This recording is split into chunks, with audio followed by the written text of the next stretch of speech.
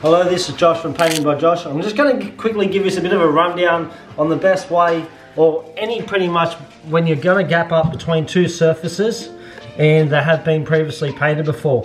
So all the time, a lot of the time you get a break between from where the wall and the floor or your skirting board is, and you will eventually get a crack through here like this.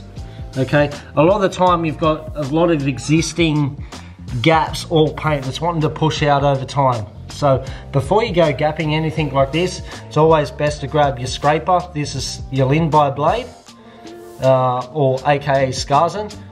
You don't have to be particularly use this, you can use any flat blade or anything like that. Just run across this edge.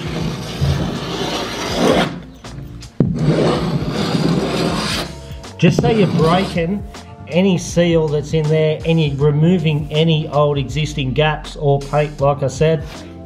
Just give, it, and then you pretty much, after that,